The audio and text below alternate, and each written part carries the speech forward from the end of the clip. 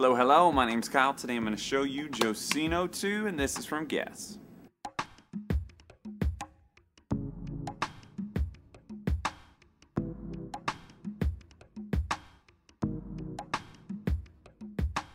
This really cool shoe from Guess has a very nice textile upper. Look at that. It is a cool pattern. You can see it has overlays and it has a plain toe. There's a lace up and it has a soft lining and cushion footbed as well to keep you comfortable while you got your unique style going. You got a nice textured outsole to keep you up and on your feet.